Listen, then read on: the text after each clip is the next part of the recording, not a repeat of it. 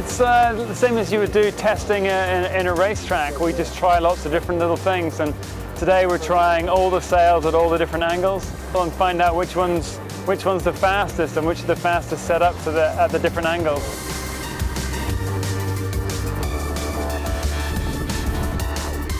We got the boat, it's quite impressive. There's no optimization, no work to be done, nothing. It's quite quite impressive to get the boat like that. It's, everything is done, you know. Even the little pocket for the sunglass, everything is in.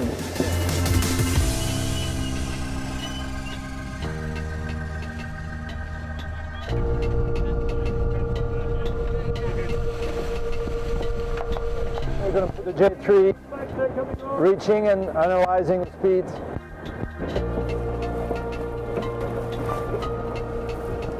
It's obviously a little bit smaller than the old boats, but uh, plenty of potential for speed here, I think, so should be good.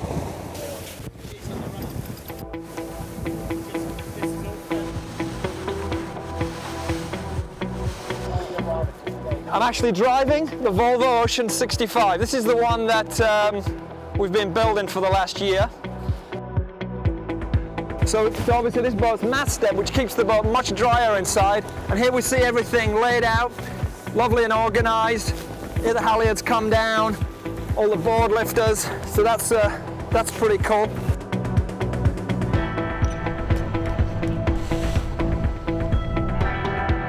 The head out on the bowsprit. I'm going to look back and I'll be able to see the reverse bow.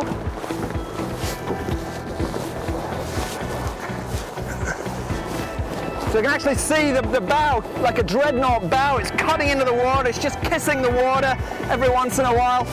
Totally safe out here. There's only about 12 knots of wind.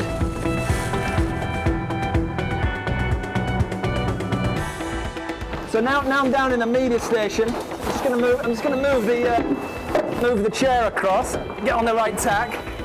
So right now we're set on the um, starboard spreader cam on one of the presets showing the helmsman. So you see that shot. I'm going to record that shot now.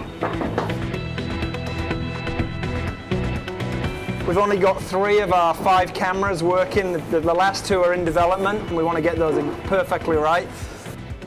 So all in all, I'm very happy with the boat. It just feels such an honour to be out here sailing it today. It's a fantastic opportunity to be out here today. And all I can say is, well, I love my job.